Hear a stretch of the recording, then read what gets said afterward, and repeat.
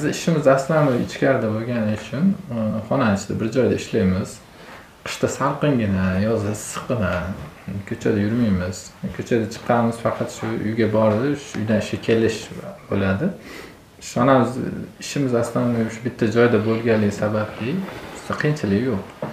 Keyin uch yil to'rt yildan beri shu ramazon ro'zasini harakat qilamiz qoldirmasdan tutishga ham o'zimiz sog'lig'imiz uchun foyda ham savob bo'ladi. Alloh taoloni buyrug'i bo'lgani uchun. Ish vaqtimiz ertalab to'qqizdan kech payt o'n to'qqiz nol nolgacha shanba yakshanba kunlari ertalab o'ndan kech payt o'n sakkiz nol nolgacha Hmm, demak damomiy ishlaysiz yakshanba kuni ham ishlaysiz Hmm. charchab qolmaysizmi yo'q harakat qilaman. Juma kunlari shu bir juma dam olaman keyingi juma ishlashga harakat qilaman. Hmm, hozir o'shanda sizni bitta joyda o'tirib o'sha ta'mirlash bilan shug'ullanasiz. Sizni ish beruvchingiz bormi shunda? Ish beruvchimiz bor. Ish beruvchingiz millati nima rus. Mus- musulmon emas demak musulmon emas ro'za paytlari tushunib qanaqadir yengilliklar qiladimi deb so'ramoqchiman.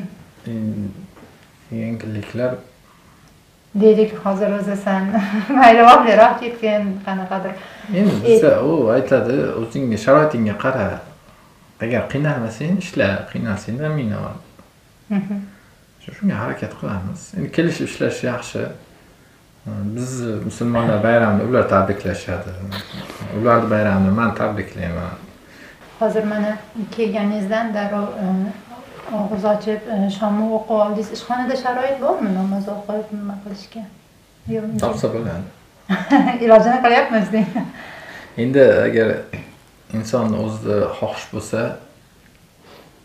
iloji yo'q bo'lsa ham ming xil vaziyatdan chiqishni harakatini qiladi. Agar insonni o'zida xohish bo'lmasa mingta sharoit bo'lsa ham bitta bahona topadi. Muhojirlik qiyin deyishadi. Deylik muhojirlikda o'sha iymonni mahkam ushlab turib haligi to'g'ri yo'ldan borishni o'zi qiyin qiyin bitta sinov sifatida ko'riladida ko'pchilikda. Nimasi bilan misol uchun siz uchun qiyin? Muhojirlikda ham e, o'zimizda ham aytganda o'z yurtida yurgan paytda ham inson o'ziga yoshligida tarbiyasidan bog'liq bu narsalar. Inson qanchalik bilgan sari shunchalik o'ziga intilish bo'ladi. Inson o'shani bilgan misol uchun mani yoshligimda to'rt yoshligimdan beri namoz o'qiyman. O'shani allohga shukur o'zi ota bobolarimiz o'rgatishganligi sababli e, dindan ilmi bor odam mm, birov kelib adashtirsa adashmaydi. Dindan ilmi yo'q odam mm, har xil odam kelib har xil oqimga e, aytadigan bo'lsa kirib ketadi. Shuning uchun man o'ylashim bo'yicha har bitta oila o'zi islom dini musulmon inson islom dini haqida tushunchaga ega bo'lishi kerak shu narsani bilish kerak. Shu sabab biz ota onalarimiz bobolarimiz o'sha to'rt yoshlardan beri ular o'qib kelishgani uchun mani ham e, to'rt yoshlarimdan bobom masjidga olib chiqib ketib e, shu namozni o'rgatganlar. Ro'zani necha yildan beri tutasiz namozni to'rt yoshingdan o'qirkansiz adashmasam ro'zani ham shu o'n o'n ikki yoshimdan beri tutib kelaman. O'zbekistonda issiq paytlarda ham tutganmisiz o'zbekistonda man issiq paytga to'g'ri kelmagan. Yoz paytiga mana hozir endi shu o'n yillar o'tib to'g'ri kelyapti yoz paytiga. Kichkinaligingizda shu qiziqish qiziqish bilan tutgan bo'lsangiz kerakda. Qiziqish kuchli bo'lgan. Ota bobolarimiz o'rgatgandek. Mm, ro'za tutsang savob bo'ladi bo'ladi yaxshi bo'ladi.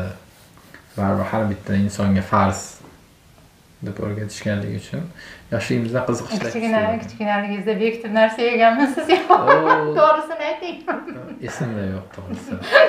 Sizdachi? Balki bo'lgan bo'lishi mumkin lekin esimda yo'q kichkina jiyanlarim borda shunaqa qilishardida man ro'zaman ro'zaman derdi bunday qarasa yosh qizchalar bekitib narsa yeb o'tirardi kulishardi ha, yoshligimizda aytishardi ro'zaman ha, endi ot- onam rahmlari kelib yo bo'lmasam ammamlar rahmi kelib.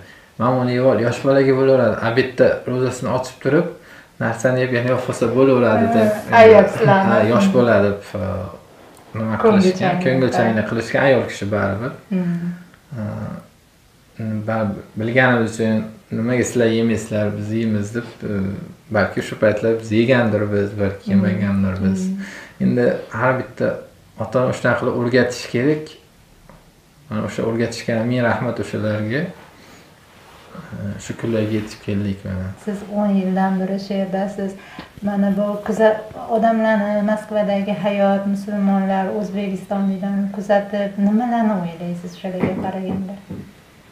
Manimcha e, musulmonchilikda o'zi hamma bu yerdagi ham bu yerdagi ham bir xil bo'lishi kerak.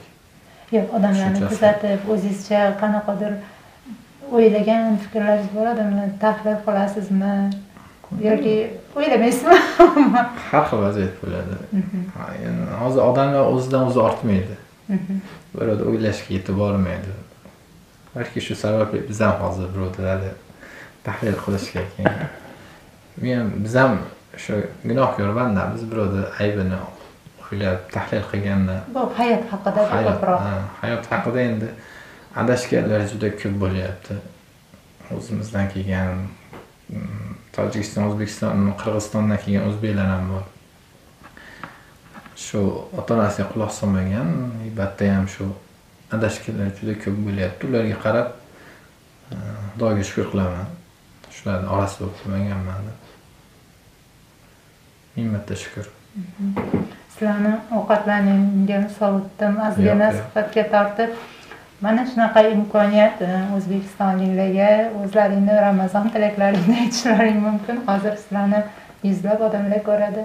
Har bir musulmon oilasiga ramazon oyi muborak bo'lsin. Yaqin qolgan ramazon hayitlari bilan hamma musulmonlarni tabriklaymiz chin qalbimizdan. Iloyim olloh o'ylagan niyatlaringga erishtirsin. Qalblaringdagi barcha pok niyatlaringga erishinglar farzandlaring iloyim sizlar orzu qilgan insonlar bo'lib yetishsin.